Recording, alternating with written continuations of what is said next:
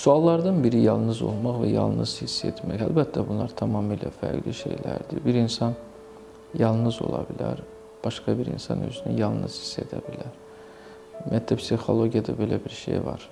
İntrovert və ekstravert insanlar. Yəni daxilə yönəlik insanlar, digər isə xaricə yönəlik insanlar. Yalnızlıq duyğusu yaşayan insanlar daha çox introvert insanlardır. Çünki onlar daim öz düşüncələri ilə məşğul olurlar. Hətta cəmiyyət içərisində olanda belə özlərini yalnız hiss edirlər, tək hiss edirlər və daha çox çalışırlar ki, bütün problemləri də tək həll eləsinlər. Çünki bu insanlar adətən az ünsiyyət qururlar. Bunların bir qismi sosial fabik olur.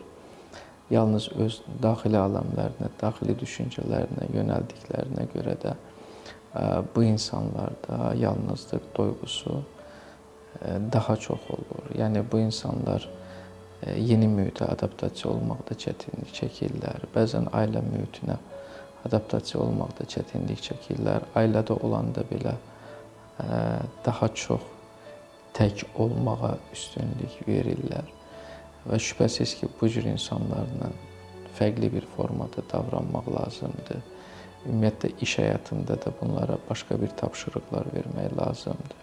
Daha çox çalışmaq lazımdır ki, ona elə bir tapşırıq verəsən ki, özü həll eləsin, özü çalışsın, digər insanlarla az ünsiyyətdə olsun. Müasir günümüzdə, müasir dövrümüzdə bu cür insanlarla biz harda daha çox rastlaşırıq? Daha çox bizdə deyirlər proqramistlər, e, informasiya texnologiyalarından məşğul olan insanlarda bu cür duyğuları biz çox müşahidə edirik. Yəni onlar tək şəkildə tapşırığı yerinə yetirməyə çalışırlar. Daha çox SMS-lə ünsiyyət qurmağa çalışırlar.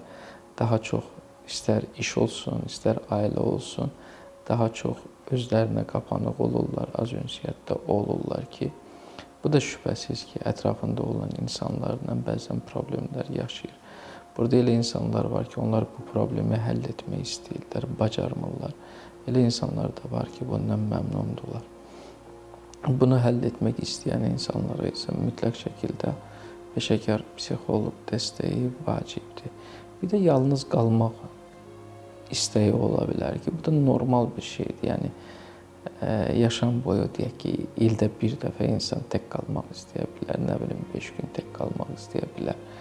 Ailədən, nə bilim, cəmiyyətdən uzaq qalmaq istəyə bilər ki, Burada da problemli bir şey yoxdur. İnsan öz düşüncələri ilə tək qalır.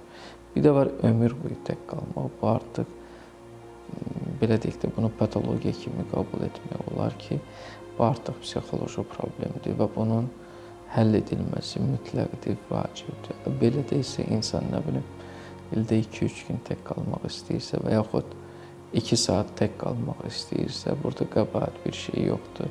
Əksinə bu insanın yorğunluğunun, emosional yüklənmənin aradan qaldırılmasına müsbət təsir göstərə bilər.